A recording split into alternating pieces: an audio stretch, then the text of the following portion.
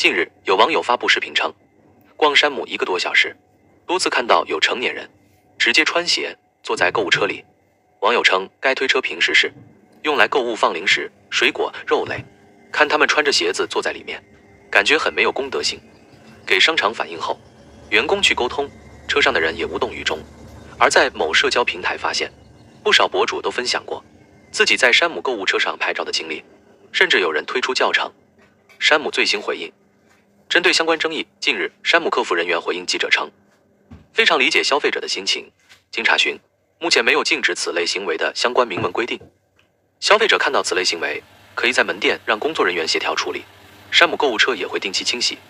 此外，成年人坐购物车的行为有安全隐患，相关建议和意见将记录反馈。